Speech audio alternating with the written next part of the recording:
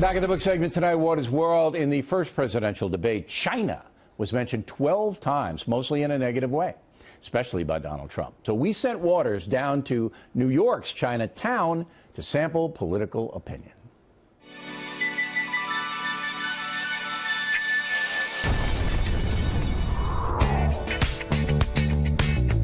Am I supposed to bow to oh. say hello?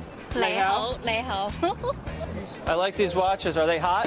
JC Penney 398. Do you like Donald Trump? Yes, uh, Hillary Clinton. Basically, it's the, the, the extension of uh, Obama.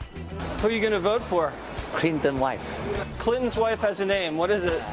Oh man, I forget it. Snap out of it. What do you think about Donald Trump? I don't like it. He has a big mouth. He can say what he wants. It doesn't really affect me, and um, I don't think he's gonna win. So Trump has been beating up on China. How does that make you feel? Speak! Speak! Why don't you speak? Donald Trump beating up on China at the debate. Is it the year of the dragon? Rabbit? Who are you going to vote for? I really don't want to vote for Trump, so Hillary, So China can keep ripping us off. I guess. Now Trump wants to build a wall to keep the Mexicans out. Mm-hmm. Square that circle. I like Donald Trump. Before I was a gambler. Jackpot. Is everything made in China now? Not everything. Tell me what's not made in China. I can't think of it right now. Me neither. I'm explaining to you because you look nervous. Is China America's friend or enemy? China, America, of course, are friends. Can you guys take care of North Korea for us? Wow, that is too much. yikes. I guess frenemies. Frenemies. Do they call Chinese food in China just food? Do you have any traditional Chinese herbs for performance? Um, I'm not gonna ask my parents about that. I meant on television. Oh, okay, okay. Was there a seed in that? Ah. Sweep the leg. Do you know karate? Yeah, I know. Hit my hand. That's nothing. Okay.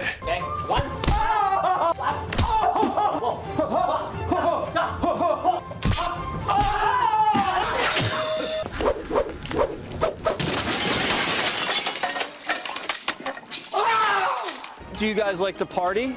Yeah, tonight we go to party. Oh, that's the spot. Oh God, I'm gonna get sick. Oh, God. How do they dance in China? I'm sick. Can you play this little piggy went to market? How do I say in Chinese, this is my world? 呢个系我嘅世界。 Ligo Hanoi Saitai. You gotta say it right. Either don't say it.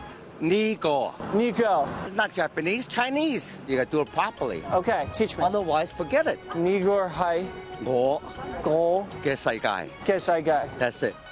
Forget it, Jake. It's Chinatown.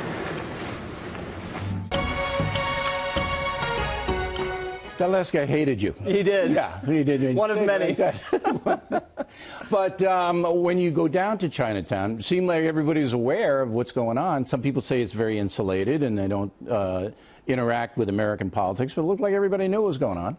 You thought people knew what was going on? Most of the people answered your questions in a direct way. A few people, the old lady, I don't think she knew. No, she didn't. They're You know, such a right. polite people. They won't walk away or tell me to get out of here. They They're just sit there and, And they're say patient. nothing. They're patient. They're- they want you to walk away because they don't have anything else to do. Right, but I get paid to not walk away, so Yeah. they had no idea. But you weren't.